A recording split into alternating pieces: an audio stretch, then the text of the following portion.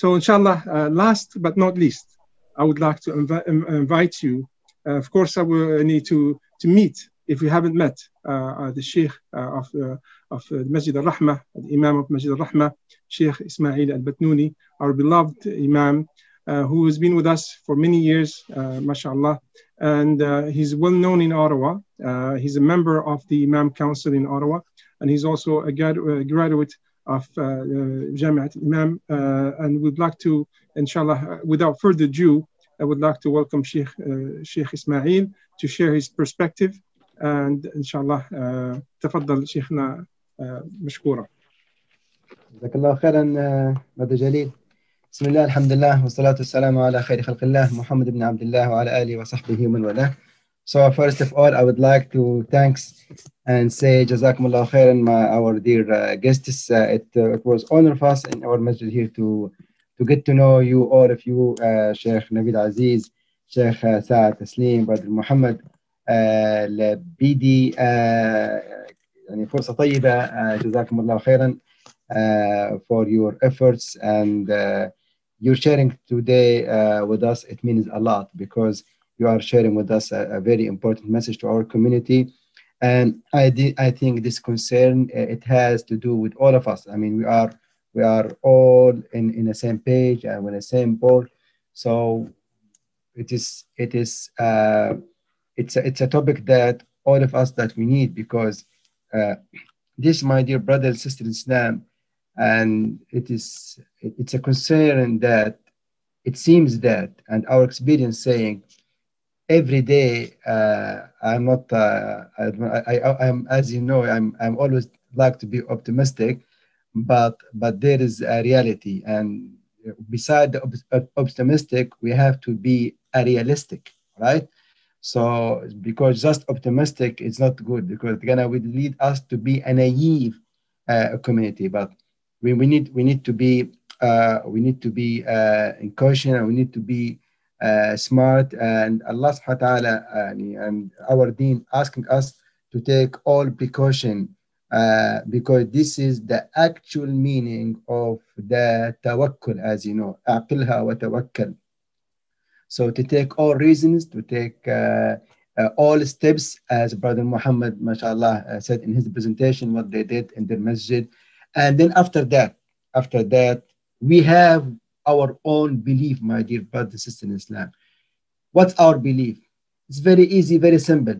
قل لن يصيبنا إلا ما كتب الله لنا هو مولانا وعلى الله فليتوكل المؤمنون.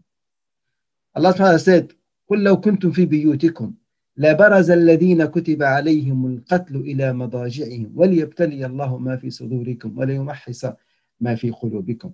So certain people, what they said? They said, if Muhammad sallallahu alaihi wasallam and his companion they stayed in medina they wouldn't have been killed quran was very easy and very simple if allah subhanahu wa ta'ala wanted that لبرز الذين كتب عليهم القتل الى مضاجعهم so allah subhanahu wa ta'ala said so those just those the qatl the killing that has been written for them they would go, they want or they, they want, because this is the will of Allah subhanahu wa ta'ala. Lay yusib len, and it comes with len. Len, it's a very, I mean, a very strong word. Lay yusibana illa ma katab This is a creed. Whatever Allah subhanahu wa ta'ala has, has written for us, has creed for us, this is going to happen. There is no doubt. So, so, so as the, our brothers um, before me, they mentioned that.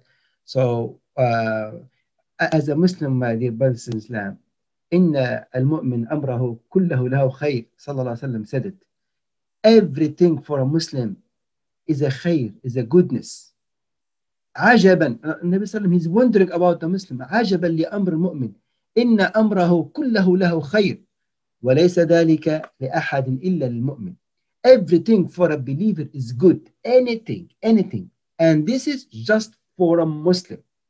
Just for a mu'min, just for a believer. Whatever happened is good for us. Yes, yes, as I said in the, in the beginning, we have to take all the precaution, all of this, what we are talking about now, uh, this is safety and so on and so on. But don't forget, don't forget, to keep your tawakkul in Allah subhanahu wa ta'ala. As Brother Muhammad mentioned just before me right now, that many people they stopped coming to the, to the masajid. So no, where is our lectures? Where is our khutab? Where is our muhadarat? Don't we, we, we should don't give it up like that. So so take all precaution and then if something happen, this is the will of Allah subhanahu wa ta'ala. My second point I want to mention with you, my dear brothers, because we are running uh, almost late and Salat al-Isha is very close. Uh, this thing is is not new. This no, it, these things is not new. Don't don't think that okay, it's new because of Islamophobia. No, it's not because of Islamophobia. This is since from the day first in Islam. Do you know how many times the Prophet Muhammad wasallam and how many times he was, yani, uh, they tried, and he was about to be assassinated, wasallam. Nine times, nine time, now nine actual time, let alone the, the other battles and so on, but just nine times. And one of them, one of these times, it was in his own masjid, sallallahu alayhi wa sallam, by Umayr ibn Wahb. And most of us, we know this story. This man, he, and he was described, قالوا عمير بن وهب كان من شياطين قريش. He was a very aggressive, strong man, very, very strong, brave man, to the point that he was described as a shaitan. He sat down with Safwan ibn Umayyah. And they start right after Battle of Badr.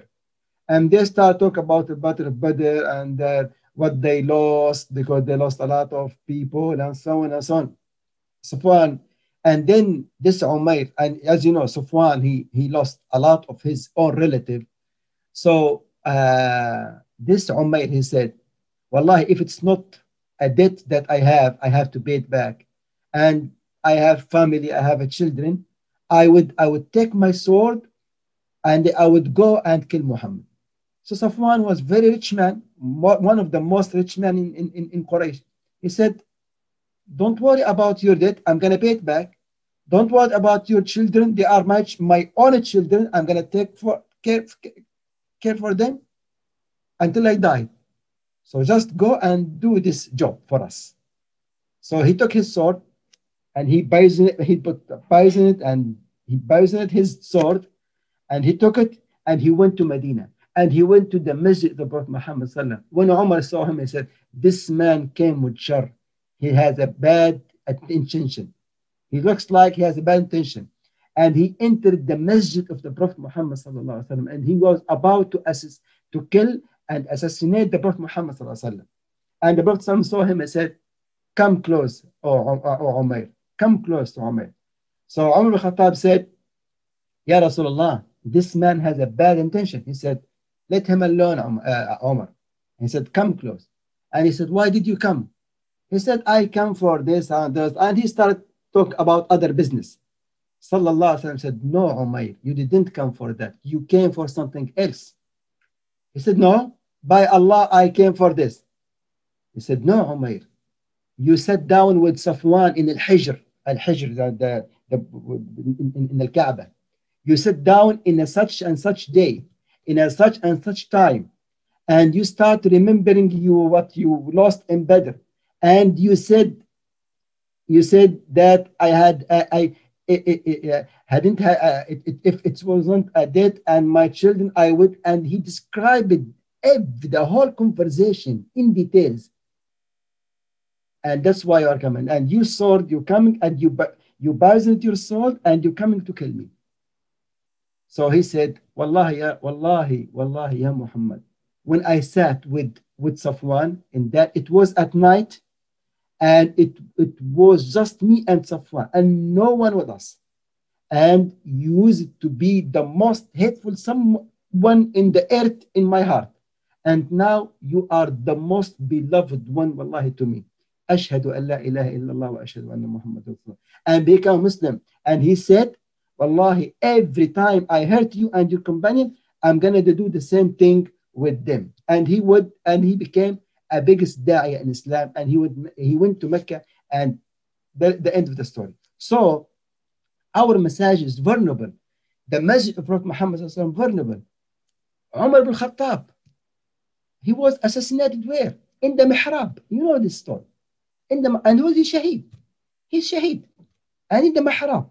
So I don't like to take your time, my dear brothers in Islam, but we are very vulnerable, even though for us, we believe in Allah, the qada wa qadarullah, and so on, so on. But for us, anything happened to us in the masjid, this is this is an honor. But in the same time, we have to take our precaution. Any precaution we need, we need to take because, because if we don't, then we are blamed. My dear brothers, my dear uh, sisters, any program, any program in the masjid, educational program, which is one of our part tonight, a religious program, a community program, any program in the masjid, do you think we can do it if there is no a safety environment? Of course not. So Allah subhanahu wa ta'ala, when he when he mentioned his ni'mah, his bounties upon Quraysh, what did he say? What did he say? He said, لإلاف قريش إلافهم رحلة الشتاء والصيف فليعبدوا رب هذا البيت الذي أطعمهم من جوع وآمنهم من خوف. So this is very important for the living of the human being. It's like food and drink even more because you might live some time without without food but without safety you cannot. Allah subhanahu wa ta'ala bestowed the ni'mah upon Quraysh and he mentioned that in the Quran until and this Quran will be recited until, until the day of judgment. By what? By by the ni'mah of al-aman the ni'mah of safety that they became safe the only tribe Quraysh they are safe no one attacked them no one attacked them because they are the people of the sacred place which is the Kaaba so it's very important if we, if we are not safe, as Brother Muhammad said now before me, people they start quit coming to the masjid. Now, now, because of coronavirus and COVID-19, people they they stopped. I, I, we personally know that a lot of people, my our dear brothers, and we are, they are excused. I'm not blaming them. They are excused. A lot of them, they have been now almost since March. They, they never come back to the masjid. Why? because there's no safety anymore. They feel there's no safety because they are afraid of the disease and the disease that will spread and so on. So then it's a myth. COVID 19 is a matter of safety. COVID 19 is a matter of safety. So, so if there is no safety, then then then then people they, they will not come back. So they are we, we are very vulnerable that even people they, they might not come back any anymore. So if, if it comes, Allah musta'an, in case, may Allah forbid, if, if a big incident comes, uh, as uh, uh, sorry, happened, that then we might, we might, we might, we might lose uh, uh many, um, and all of other programs will stop. There is no education. There, right now, there is no schools in the masjid. There is no halaqat. There is no gathering. There is no uh, new Muslim activities. A lot of, I mean, a lot of them. Because of what? Because of the safety. So my, my word to you, my dear brothers and sisters in Islam, the safety of the masjid, masjid comes number one. It comes number one. And if we have a safety, then if you have a safety, then we can talk about the other programs. Education, halaqat, community services, uh, blood donation, anything. Our message tonight we need to prevent this. We need to take all kind of precaution okay? So we can have our children our children our responsibility. Do you think that we can receive our children when we are not safe? No of course they are our responsibility we to make sure that our message may, may allah forbid if we didn't take this precaution if you don't help us tonight and may allah forbid anything happen to our children who's the, who's the responsible so, so uh, I know Brother Jalil is waiting for me to to uh, to finish, but Jazakumullah khairan. You did a lot. You you support us a lot uh, you stood with us a lot. And actually, yes, we appreciate that. We appreciate all of your support. But in the same time, you have to know whatever you did, it, you did it for yourself. And we know that you are doing this for yourself because you need to proceed something for yourself in the day of judgment. This is Hawla Udandin. We all that man. Whatever we are doing in this community, in this dunya, any Muslim, any Muslim, we know that you are not that much rich. We know that maybe the poorest community in this in, in, in, in the country are the Muslims, but our our richness is here. Alhamdulillah. We are rich here, my dear brothers and sisters in Islam. We are rich in our hearts. Every time we are calling you, we, we find um, um, men and women who believe in Allah subhanahu wa ta'ala من المؤمنين رجال صدقوا ما عاهدوا الله عليه every time we call we find رجال and we find nisa as, uh, uh, as well as believers, male and female, supporting our causes.